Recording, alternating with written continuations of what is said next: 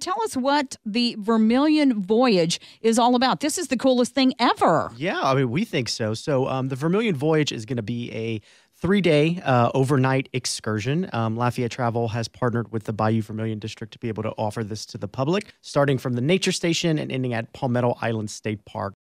It, it really was a voyage. You know, we do like the 21 miles, and then we do the 17, and then we do the last 12. And then, like, when we got here, it was like, oh my God, like, we paddled a long way. Each person has conquered the river individually, right? Even a person in a boat, you know, like those two people were paddling individually, each had a paddle, and they conquered the river, each and every one of them. And yeah, they have, it's like they just won a victory tried to get his schedule to work with mine, and so we could get down here. He missed three days of school, but I think the education over the last 72 hours has been probably a semester's worth of uh, real school.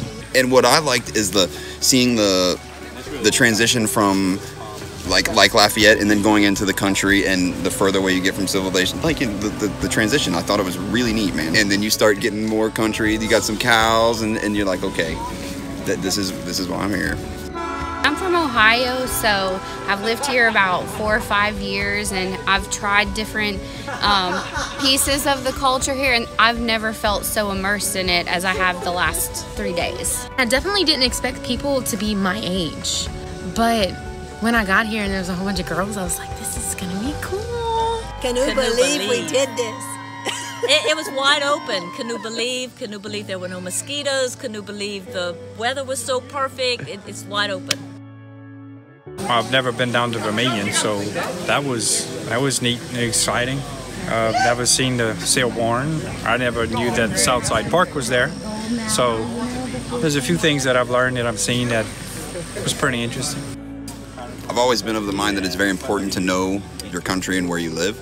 Um, and this is a really cool way to see it because you can drive by stuff and see roads, but coming up the river, you see back sides that you that you don't see, and you also get to watch the river progress. It starts small and it goes out as it goes out to the Gulf. It gets bigger and bigger, and it's, it's just cool. I mean, like the added bonus going to the dockside studio. That was awesome. Yeah, meeting the lady that you know owns the studio. It's like musical heritage history, and then uh, you know later that night getting to see Roddy Romero, who I've never even heard the name before because I'm a little bit ignorant about the, the culture, but uh, I'm up to speed now, so I think I'll be you know downloading some stuff.